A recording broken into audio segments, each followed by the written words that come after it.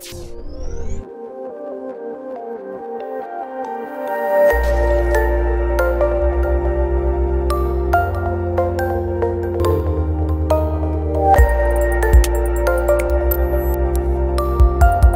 Professor Stephen Smith. I'm Dean of the Faculty of Medicine, Dentistry and Health Sciences, and it's my great pleasure to welcome you all here tonight uh, to, uh, to the Miegunyah Lecture.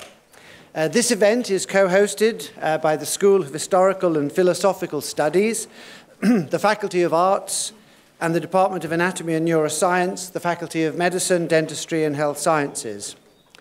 Uh, the University of Melbourne acknowledges the traditional owners of the lands on which our campus, campuses are situated. We pay our respects to their elders, both past and present, and extend that respect to all Aboriginal and Torres Strait Islander Australians who've made a contribution to the life of the university community. Sir Andrew and Lady Marcia Grimwade deeply regret that they are unable to be with us tonight. Uh, we acknowledge and thank the Russell and Mab Grimwade Miegunyah Fund for supporting this lecture, and I'd like to say a few words about the origins of the Miegunyah Distinguished Visiting Fellowship Programme. Uh, an industrial chemist by training, Sir Russell Grimwade was a man of many interests, including forestry, native timbers, and printing, and was the author of two books. But he is perhaps uh, often remembered as the man who bought Captain Cook's cottage to Australia. And as you can hear, I'm English, and I've been to the site where Captain Cook's cottage stood, and it's a big hole in the ground. and it says it's now in Australia. uh, Miegunyah in Orrong Road, Toorak, was the Grimwade home from 1911 to 1955. And Miegunyah is the Aboriginal word meaning my house. The house, surrounding land, and the extensive collection of cultural material uh, it housed, numbering some 1,000 volumes, was bequeathed to the university in 1972.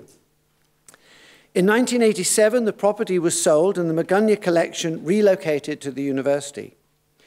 Proceeds from the sale enabled the establishment of the Sir Russell and Lady Grimwade Fund, which resources numerous activities throughout the university in accordance with the donor's interests and request.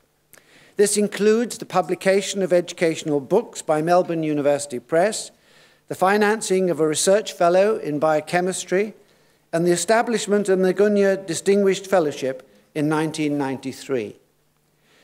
The fellowships enable overseas scholars of international distinction to make an extended visit, normally between four to eight weeks, to the university. Fellows are expected to contribute to the academic, intellectual, and cultural life of the university during their stay by undertaking such activities as the presenting of a public lecture and several lectures or seminars on a topic of general interest to the university. They have to be available for consultation with staff and students, and if possible, be engaged in, re in research. Professor Lordkipanidze visit to the University of Melbourne was also benefited greatly from two other funding sources, the Dyson Fellowship and the Faculty of Arts International Visitors Scheme. And I am sure you will enjoy this important evening. I would now like to hand over to Professor Tony Sagona to introduce our distinguished speaker this evening. Tony.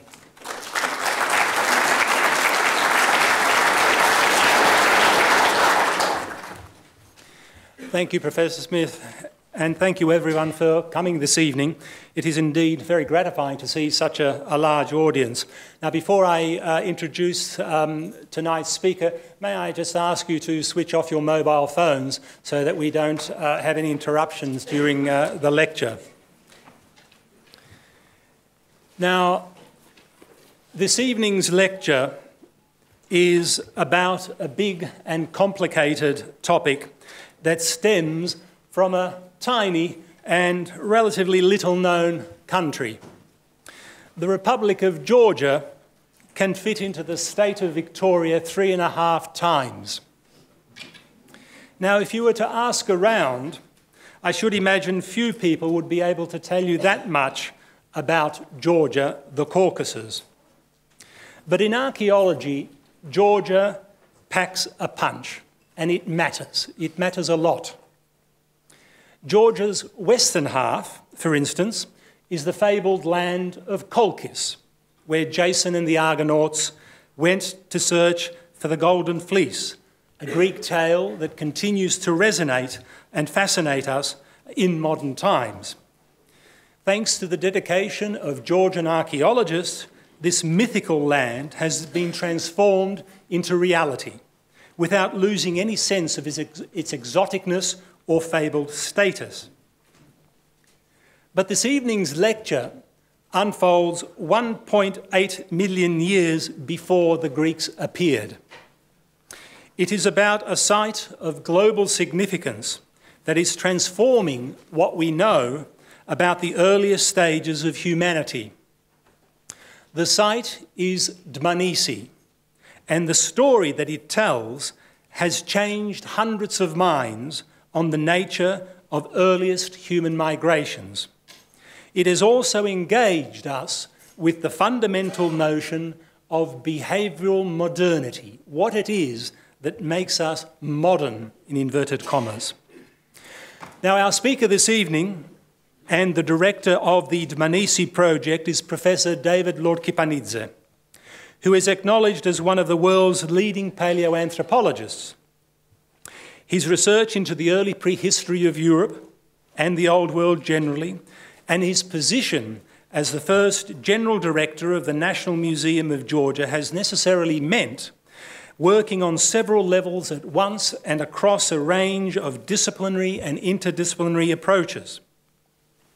On one level, Professor Lordkipanidze, the paleoanthropologist, has authored scores of scientific articles, many of which have challenged entrenched views. They are published in widely respected and well known scientific journals such as Nature, Science magazine, the Proceedings of the National Academy of Sciences of the USA, the Journal of Human Evolution, and many more.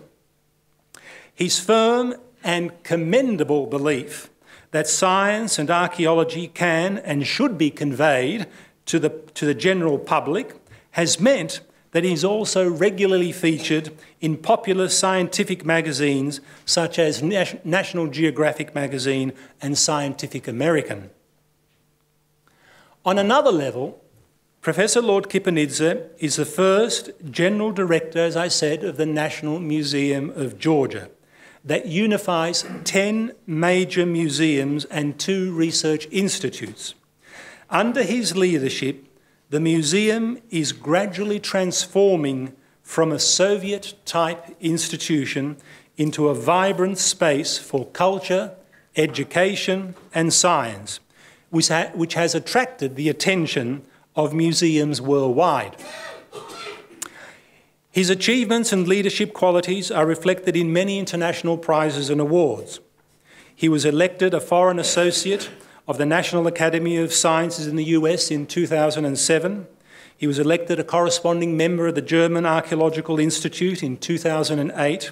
He became a member of the Georgian Academy of Sciences in 2009, a member of the European Academy of Sciences in 2000, uh, uh, uh, Sciences and Arts in 2009 as well, and a member, of the, a member of the Academy of Europe in 2010. And among his many honours and awards since 2001, I had to delete quite a number of them. I can mention uh, 2004, the Rolex Award for Enterprise. He's the first East European to be awarded this prize, and 2008, the award of the Accademia Nazionale dei Lincei. I think I've said enough, ladies and gentlemen, to outline the calibre of our speaker tonight. Would you join me in welcoming Professor David Lordkipanidze to Melbourne?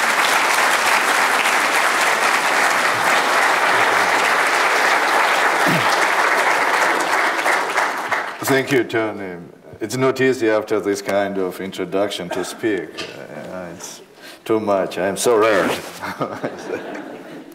but, but thank you. I'm really very delighted, and, it's not words of diplomacy.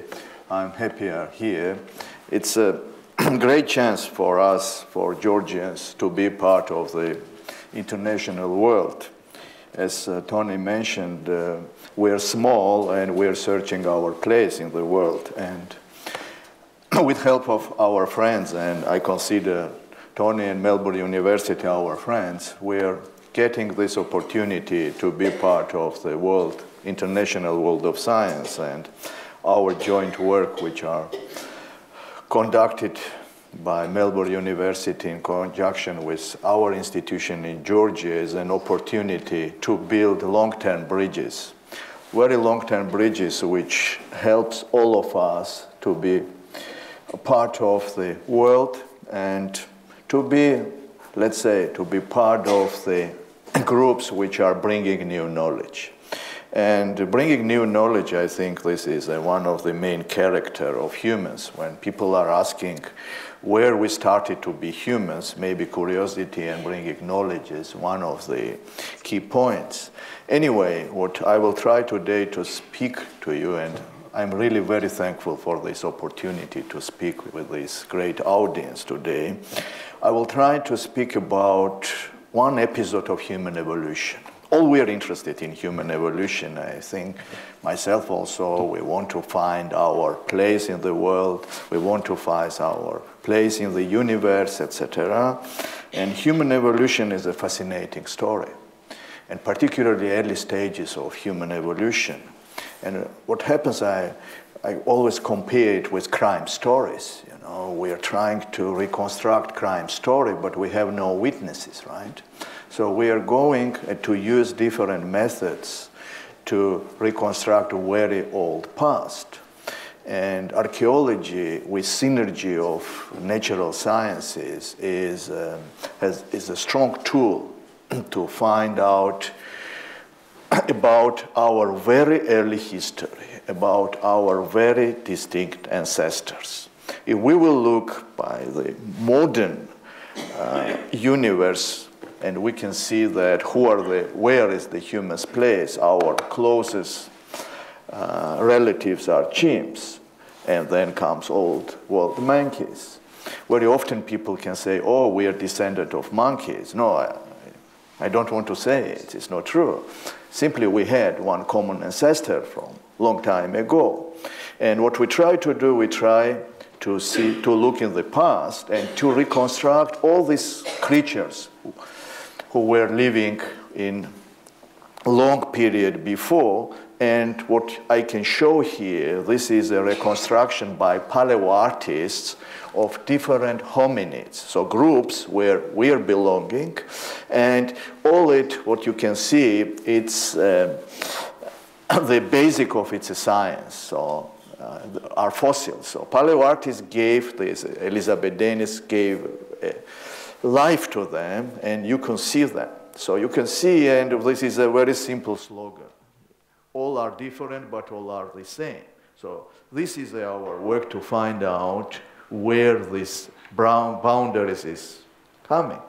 So if you will look on history of paleoanthropology and human evolution, starting from Darwin, we could say that first uh, attraction and first focus was first Europe, then was when was the Neanderthal finds, then came to finds of Dubois in uh, Indonesia, in Java, and we have the Pithecanthropus. And from 20s, the focus came towards Africa with the discoveries of Australopithecines. And then we have a big number of finds by uh, Leakey family, which uh, started, we started to uh, learn more and more about our ancestor, and we have these famous finds of Lucy by Don Johanson in 70s.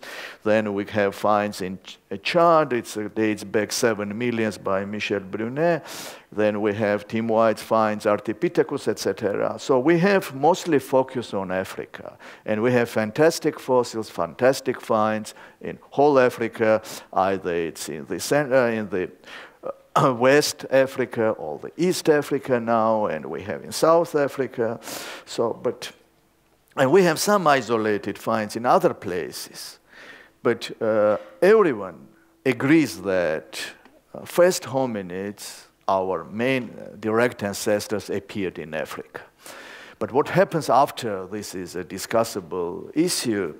And I want to stress that we have more paleoanthropologies than human fossils. And this is one of the reasons, maybe, that this is so discussable issue.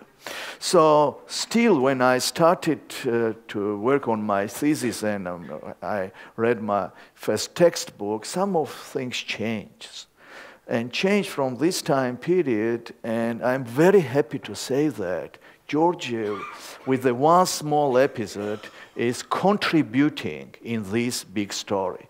So uh, we are we in uh, science sometimes we have a lot of data and then we try to find out some small details or it happens vice versa too when you can get some details and then to see big picture so this is what i want to present today but before to start i will tell you this is exactly time period between 2.5 to 1.8 million when we have first traces of our genus Homo.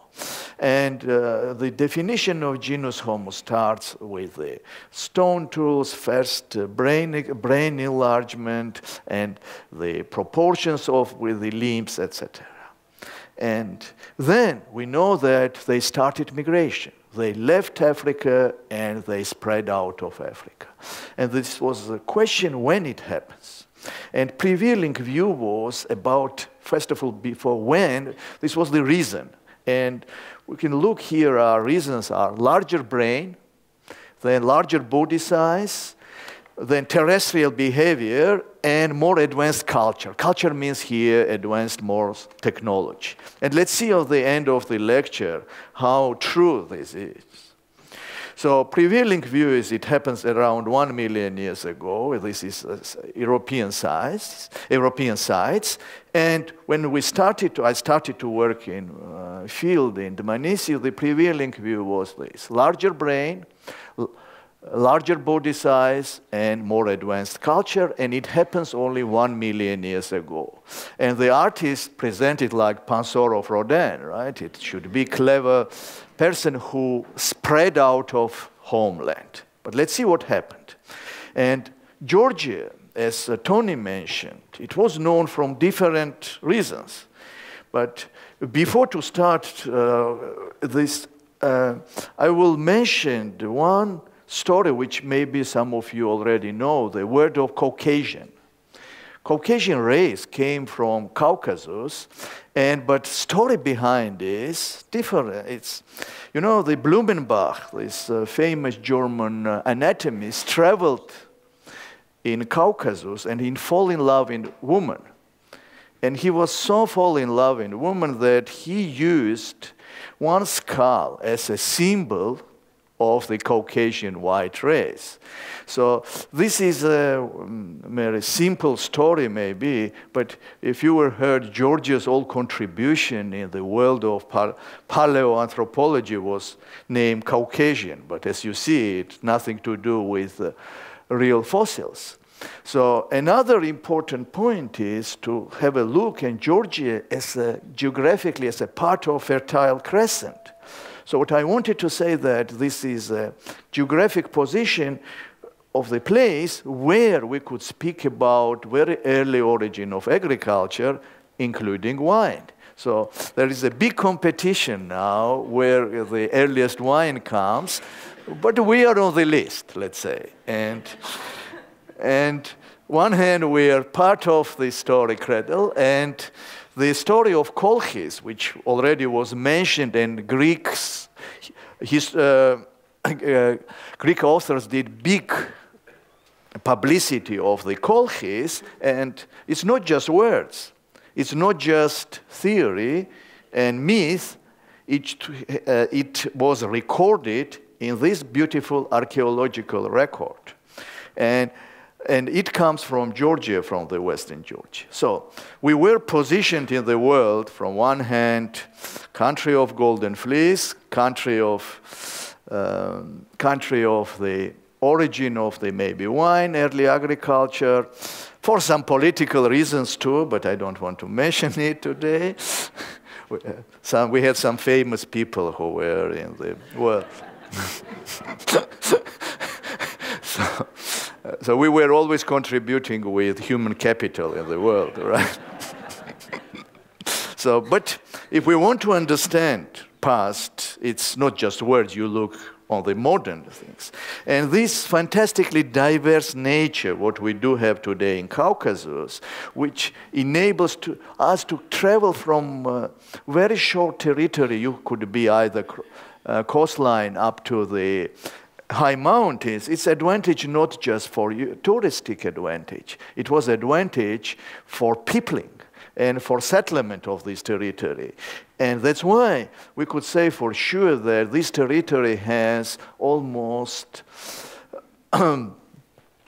complete occupation uh, of this from the very early period. And you can see we have almost 400,000 just prehistoric sites. So this is a small introduction of Georgia and now how we could contribute in these big issues. What is when and who, why uh, left Africa and started world colonization. And now we are coming on the stage as a country where we have history of evolution and we have traces of it. But and you can see this Georgia, Caucasus, and I will tell you a story. This is Dmanisi, which is near Tbilisi. So now you can see that story happened in completely different setting. You know, when I was talking about explaining about human evolution for students, usually you are showing examples from Africa with the uh, uh, safaris, you show caves, but no churches. So we have this advantage that really this story happened in this beautiful area. This is a site of Dmanisi, which was in medieval time quite important site on the Silk Road. And in this site, we have traces of different time periods. Below it, we have Bronze Age site, which dates back around 3,000, 3,500 years. You can see it. And below it happened this story. In 1983, our colleague identified small piece of bone as a rhino. And it, this rhino bone was under medieval settings in medieval cellars. So it was difficult to imagine that even so beautiful landscape of Georgia had rhinos in the medieval time. So it was clear that these should be extinct species. And since 1983, so it's almost more than 30 years, we know that below this beautiful medieval setting, we have old site, which date back at least more than one million years old. So this is a, what you can see today. It's a promontory, and this promontory, actually, we have a medieval site, and below it, where we are running our excavations. So you can see this is two rivers cut it, this promontory where we have actually excavations now very detailed, very interdisciplinary, very international, etc. Where we are finding this setting, we have fossils, you can see bones and some stones, which happens to be stone tools. So before to start any excavations, you need to understand geological setting and to get age. And we were very lucky to have here an opportunity to get direct datings.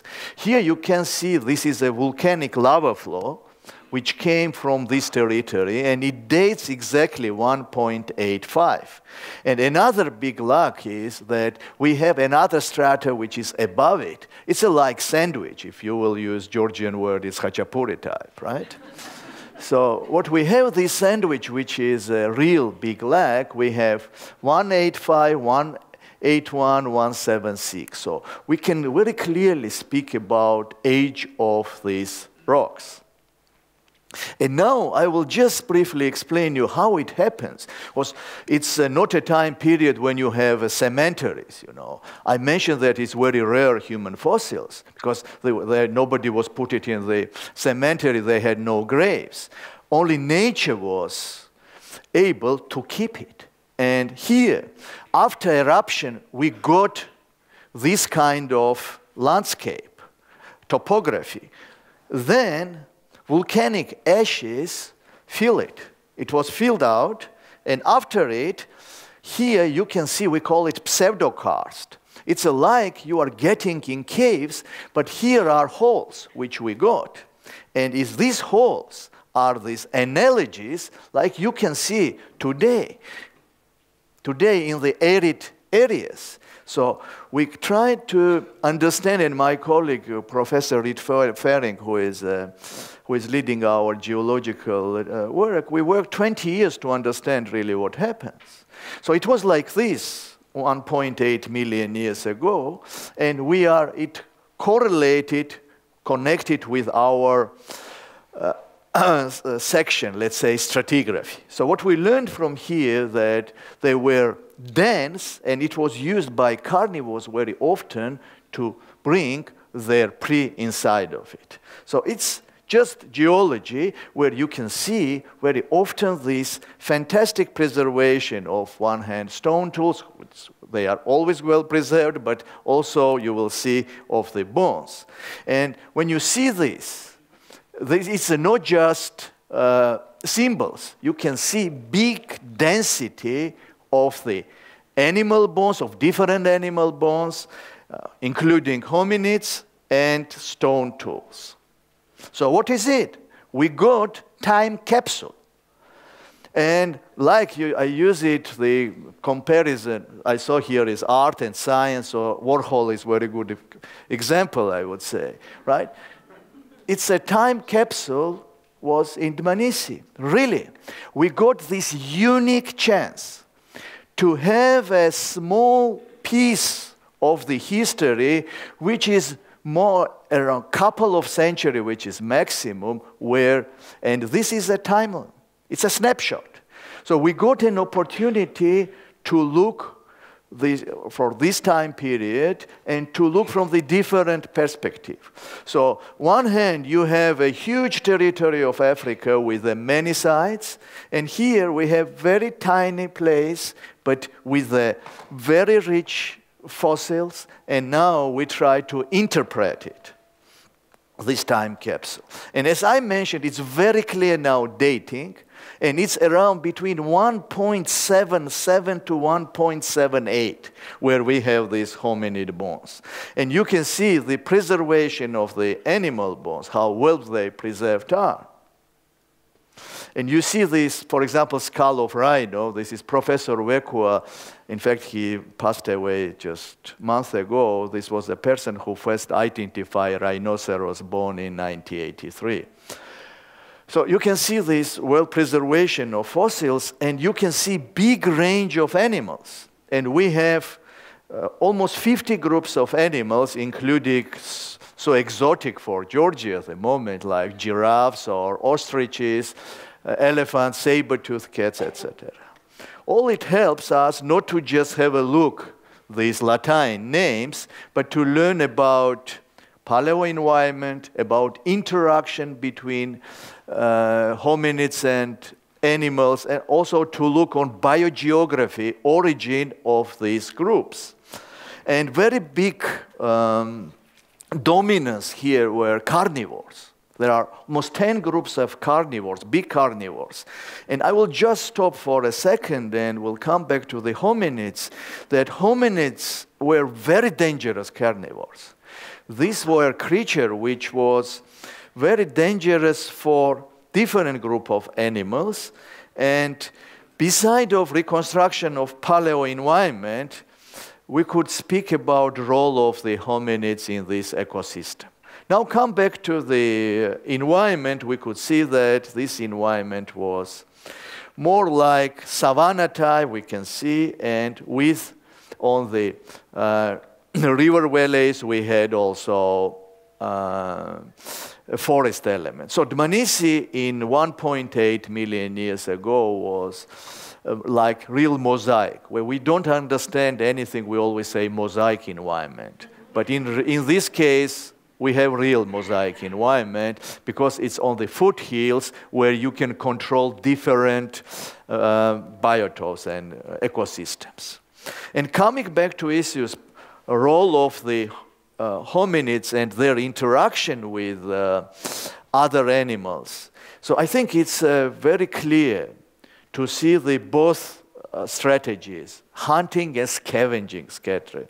You can see the scavenging of the hyenas, and you can see that when humans are trying to get meal from the uh, saber-toothed cats. And saber-toothed cats were accompanying of early hominids.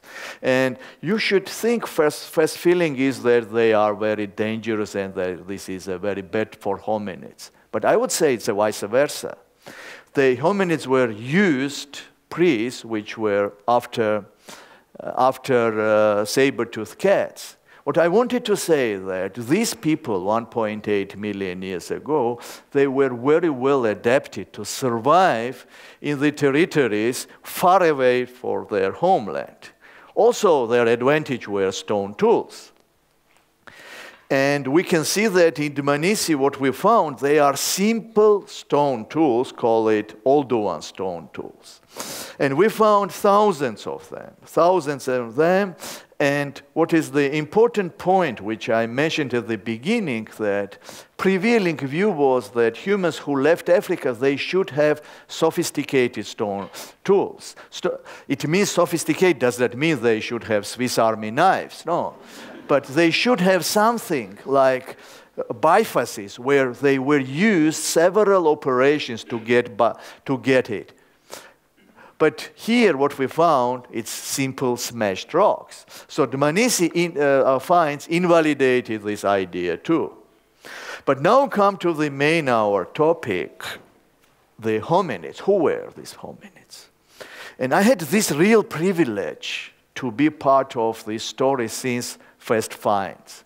And in 91, and you will heard always stories are the last days of excavations you are finding, but it was true. It was 24 September of 91 when we found this jaw. And since that started discussion and we came on the stage. And I had another big privilege in 91 to be to assist on the pres first presentation of Dmanisi on the conference. And it's a historical picture where you can see Professor Frank Clark Howell, who is one of the biggest names in paleoanthropology, my Professor Leo Gabunia, and here is Professor Milford Wolpoff, very famous, whose own jaw dropped when he saw it. So it's a different time period, you know. Completely 22 years ago, haircut had a, another trend of fashion, right? So we were in different world, but it was a, but it's an important point because this jaw, it's a cast. It's a changed the uh, prevailing views, but I want to say it doesn't change immediately. It's shook it. And this was the jaw, it's a cast, which came to the scientific community claiming, oh, we have very old fossils, much primitive than we can see. And if you will compare this with ours one, you can see it's much more narrow, right? And this is a, in uh, anthropology, it's a clear archaic, it's a primitive feature. And it has no chin, this is also. But itself, it had a one more advanced feature. It's a, you will see, it's a reduction of third molar here. It means that during the evolution, you, we were losing these wisdom teeth. So, so this was a discussion. What is the importance? This uh, dentition or general architecture? So let me remind you, it was 91. But you know, there is a proverb in anthropology that jaw is a creation of the devil and skull is creation of the God it means that skulls are more diagnostic and we needed to find skulls to get all these credits to be first european etc to get covers national geographic etc and i want to show it why it happened. We found the skulls which was also on the cover of national geographic in fact and you can see how small is it. And and if you will look brain was very small, only 600 cc. So it has a, it has a no frontal bone, you see. and these cheekbones are big, etc. And so, anyway, what I wanted to say, these finding skulls helped us to prove scientific community that Dmanisi is really old and it has features which previously have seen only in early hominids. Now let's continue it and if you will compare it, how small it is, you can see difference chimp and modern human, then Neanderthal and modern human and Dmanisi. So now to find a place, this is a now another our goal is now. So as I told you, we already said it's older, it's more primitive, but where we should put them? Uh, we like in our field we like to find names. So but we, before get to the name so let's make small analysis of anatomy of this group. And we can see that now they have creatures, the features which are, from one hand, typical for, we call it Homo erectus, which is more developed one, but as well as uh, creatures to our uh, Homo habilis, which is more older one. And I will go back to these points. And you can see our trophies, you know, we are quite rich, and we have to, you know, got, getting an opportunity to learn from different perspectives. And you know, uh, I want to show this example uh, not just for anatomy. I want to just tell you how many new information you can get when you have serial dates. And very often, uh, we, when we were finding isolated finds and fragments, we were doing too much fantasy of reconstruction. And Dmanisi now helps us to be on the ground to the ground. And for example, these four jaws, what we do have, which belongs to different individuals, and here, even in this five skull, we can say, I will, we have, this is a teenager, we have that adult, young adult, we have real adult, old adult, no, mature adult, here and old adult. So we have different age group, right? Which is very rare. But same time, you can find, when you have finding so old individuals, which is very rare, because uh, usually they died very young, right? You are finding the remodeling of the uh, parts of your uh, parts of the uh, skull and jaw and what we thought before could be morphological, uh, uh, morphological characters, it's just simply of the aging, remodeling. Here we saw the, we discovered its uh, work has been done in Zurich University. Our student Annie Margvelashvili is doing PhD. And this, there we, can, we have an opportunity to look in any details. So what she saw here, we have tooth picking. So earliest tooth speaking in this time period.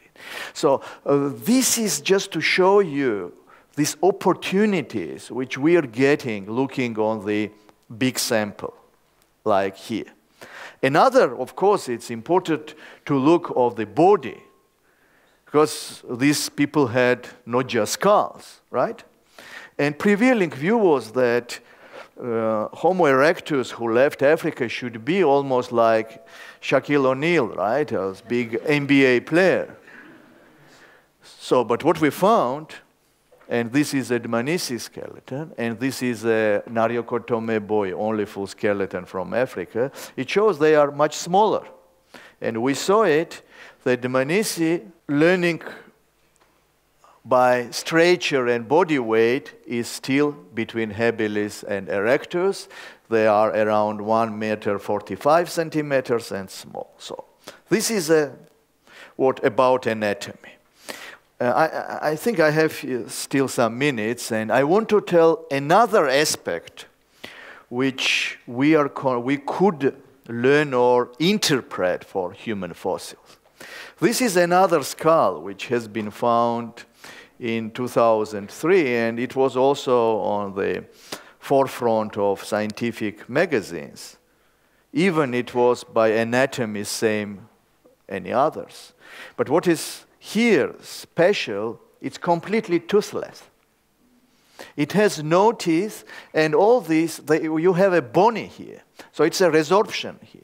So it means that this individual survived without teeth. And here you can see it. So this is artist reconstruction, and we try to find out similarity, the analogs. No analogs. Only one, this is uh, La Chapelle, it's uh, from uh, France, it's almost Neanderthal, 100,000 years, toothless one minute. We found just one chimp, which was like this. And uh, chimps could eat bananas, and these people were living in temperate zone, no good food, nothing, right? So what we try to understand and maybe to look from the different perspective that maybe what we can see here, we can see uh, socialization. We can see that there are group interaction. So, and this could be interrupt like first compassion. So may I say this is a, maybe a little bit speculation, but from other hand, this is another maybe advantage of be the hominid in this time period to learn to be in groups and take care on other and food sharing, etc.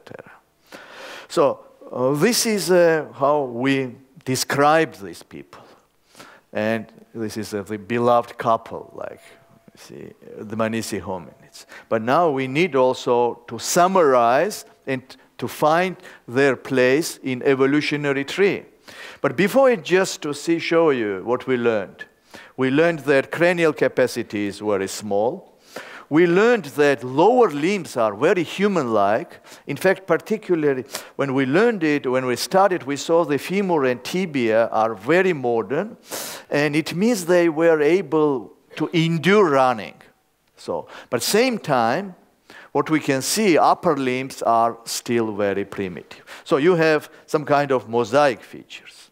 And we learned that all these Uh, ideas, which were prevailing view that there are small brain, we have, uh, there is a big brain increase, we have very small brain, we have body weight, we are very small, we have height small, and they are having primitive stone tools. So it invalidates all ideas what previously was 20 years ago. And we are thinking and we learned that this should be one of the first emigrants of the African hominids from where then later and other groups or probably derived. So this is a general view where could be Dmanisi, either in linear, linear, we have somewhere between habilis erectus, or here, if you will look on the bushes, uh, if you will look through the, let's say, uh, more the view of the not just linear or multilinear. But that story is not over with new finds, we are getting more information to enter another big topic. And I will come to this issue. Not just the point. I think I convinced you that they are first hominids out of Africa. They, have, they are more primitive and they used uh, primitive stone tools. But this find put it another discussion, another new discussion. You can see it was real surrealism. Uh, when we found it in 2005, we took it and big flood started, and it's real story, you know. So we have this skull, and we found this skull which came. And let me come back to this jaw. I showed one jaw which was found in 2000 and you can see how different it is from here, from 91. And when we found it, this Joe, we were thinking either we have two groups, two species, or it's just village idiot, right? And this is beautiful one. But this is a very hard question, which now it's on forefront. How many species you have in Dmanisi? are you have two groups there. And when we took this, and even uh, some people were, and I was participant of this project too, of course, that we think maybe it could be even new species, Homo georgicus. But later we got and it was last year, we got cover story of Science magazine. You know, I'm happy to say it, right? but why? You see, it fits. You can see this skull fits with this jaw, and what we learn now. And now we got an opportunity to look all these five skulls, to study, to learn, not just reconstruct. And you can see reconstruction which has been done by Jay Matternes, how it looks. This is the most complete skull ever found in the world from this time period. And I'm not exaggerating. You can see any comments in the world. And we worked eight years to make final study of, and, and we took approach, not just classical approach of description, we used big databases. My colleagues from Switzerland, Christoph Zollikofer and Marcia Ponce de Leon, they developed enormous experience of, uh, of the study of, to use computer-assisted uh, uh, anthropology, and they have enormous database for the, this geometric morphometry, and we compared, including also with my colleagues, uh, Philip Rightmire and Joel Rak, we compared also huge range of the individuals. And we took also random place, random samples to look uh, no, modern, uh, to uh, look on the variability in modern population as well in apes and used great apes as a pen. Of course, it's nice to get all these uh, science magazine, uh, New York Times, etc. But same time, what I wanted to say is not just to saying how good we are. No, it's created the issue. This was in nature that where is this position of this Homo? Because we got to the point to look we have finds which are really comparable to earliest Homo. So it's no more just question of earliest Homo uh, out of Africa. This is you are getting in Champion League, right? To the high level.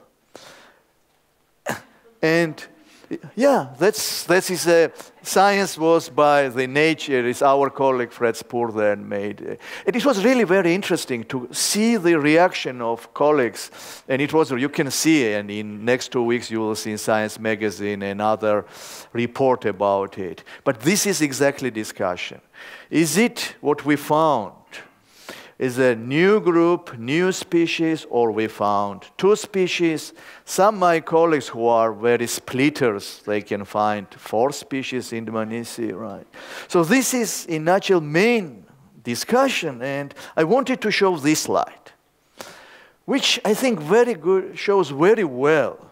If you will have separately this jaw, you could say, oh, it's like Homo rudolfensis if you will have this face, but half face, half face is more erectus like, half face more habilis like. And then you will have this, this small brain. And here we have brain 5, 45 cubic centimeter. You will find five species, right? But all you have in one skull. And what is it, you know? Could we just say that we are finding so many new species or we should come back to null hypothesis and to rethinking on all these fragmentary finds. I want to be very clear. We are not criticizing any work. Contrary, all work has been done in Africa done. It's very top level work. There is a fantastic finds in all parts of African uh, continent. The question is, this is the best evidence for early Homo. And maybe it makes sense to rethinking on it and to look once more, let me repeat it, through the null hypothesis. And you can see all these five. And you can, somebody can describe it as a four species, and, but it's a very often we can go character by character, which are the individual character. And let me uh, remind you, it's a time capsule. It's very small snapshot. It's very hard to imagine different groups were in this place. But anyway, it's just uh, we proposed, and we're proposing more one lineage in cladogenesis in this time period than multilineages. And this is how we are used. And we used word now deme, which paleodeme. It's a like paleopopulation. And maybe it makes sense not to look on things just vertically, to look things also horizontally. That in geographically isolated population, you can have this. You can have populations, and it's also a cluster approach, if you like. You can see it in different ways. So paleodeme is a combination of characters, and what we are proposing is that Dmanisi was one isolate, geographically isolated deme, which was very closely linked with very early Homo. So this is what we do have. So let's, to summarize, we could be like one point is in this bushy, we are here, or we can put it, we have Ardipithecus, Australopithecus, and here we have, on the horizontal level, we have Erectus, Ergaster, and Georgicus, whatever we will call. You know, it also depends on history. If Dmanisi would be found 50 years ago, it could be Homo habilis, you know. But at the moment, best solution, what we found was to use it just early Homo and to leave people to continue to think and particularly when you have a chance to find more. This is the Dmanisi side, how it was before and how it is. When this was help of Rolex Award, then we started to make a new vision. New vision of Dmanisi uh, as a site which has really big importance for humankind. And first was to develop approach. When you're going to the archaeological site, usually you have three different spots. Archaeological sites itself, place for research, and interpretation center. But we, we want to be unique and we wanted to have in one place. So we decided to create it, and today it looks like this, and we're continuing. We are continuing when, to make it more accessible it's in some way, you know, it's an opportunity to start dialogue with public, right? And what is the main role of the museums and to spread our knowledge. And Dmanisi is a very good opportunity to do it. And it's a some way visitors can watch you. It's like archaeology in live, live archaeology. We have now projects to develop in other places because we have at least 50,000 square meter to excavate. 50,000 square meter where we know we have fossils. And I hope you will hear more. We have also a project of new museum. What I wanted to say briefly that story is not over. And this is most attracting thing in uh, our story is that this small episode is um, provoking very large debates on human evolution, and we're getting this chance. And what is most important, I think, that it site is tweeting the past for the next generation. So, so we are continuing and we are keeping up to work. Thank you very much.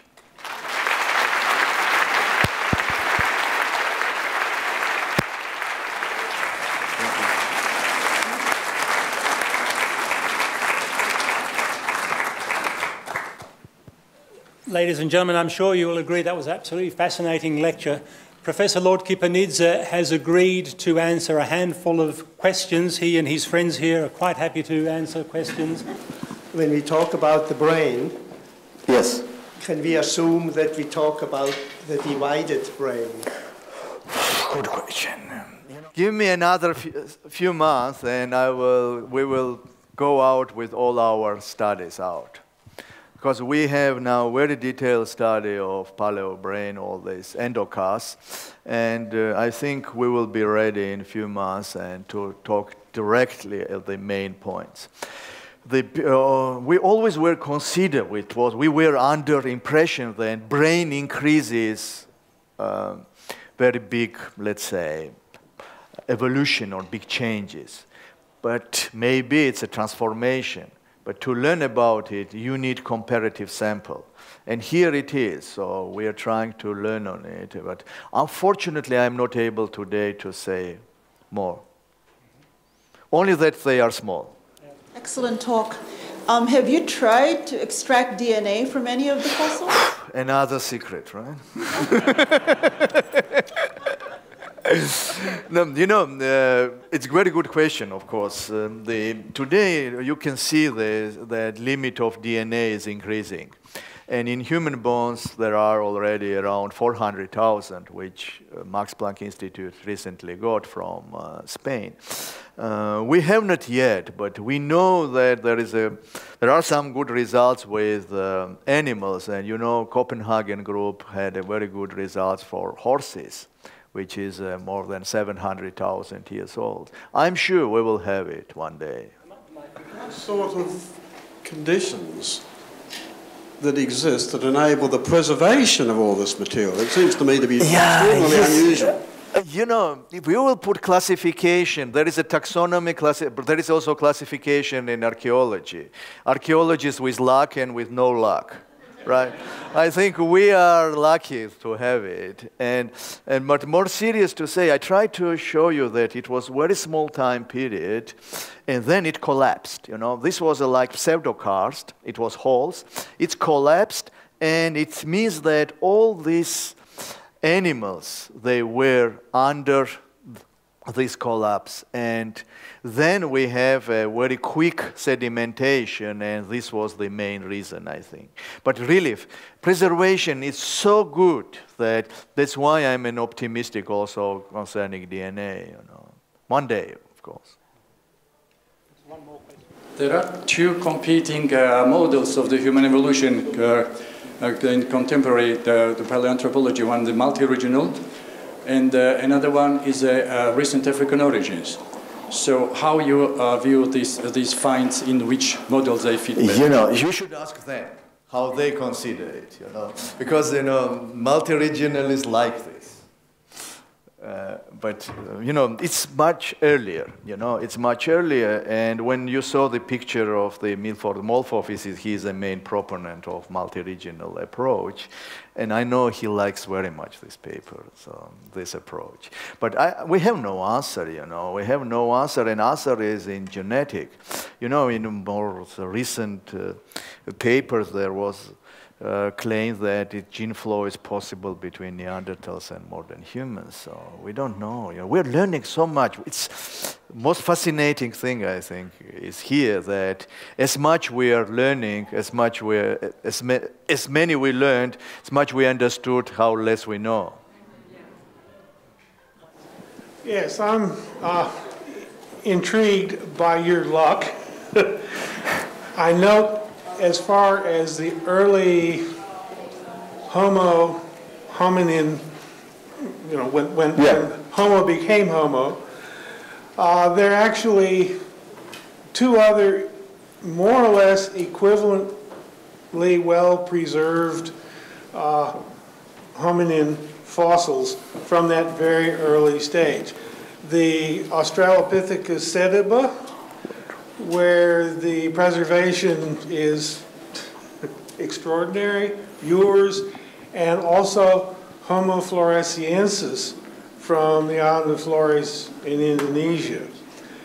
They seem to have some common characters. Is it, you know, is, is there It's uh, more, I mean, particularly your, your uh, big skull or the big jaw. Uh, I have read papers that claim that this actually uh, is close to Australopithecus. I mean, these, these could well be pretty close to the earliest Homo. yeah. It's, it's, anyway. Uh, tha- that's, I think, it's s- it's a more uh, discussion. Of course, we could uh, talk about it. Uh, Flores is, in fact, it's with big Australian participation. It's a wonderful site, beautiful fossils. I had the pleasure to see also Sediba, which is wonderful. You see also. So we, I think it's a future to compare. Of course, uh, Sediba is real Australopithecines. I think even uh, and author, authors are not arguing about it. About it. We'll see. You know, this what I wanted to see to stress in Dmanisi. It's not just preservation of this one skull we have this range of population. And no, today we were talking about our position of our science. And what we want, we don't want to be just Indiana Jones, lucky science. We're going towards biology. And this is the first attempt, really, to use population biology for the early time periods. Real comparable material is much later is from Spain, which dates back around 400,000 from the Sima de Huesos. Before, we do not have real comparative data to speak about populations. That's a, that's a point only, but I'm sure it will come. Okay, uh, thank you, David. I'd like now to call on Dr. Varsha Pilbrow to give the vote of thanks. Yep. Well, all that remains to be said now is to thank our speaker, Dr. Uh, Professor David Lordkipanidze, for the wonderful, stimulating lecture. And thank you all for coming.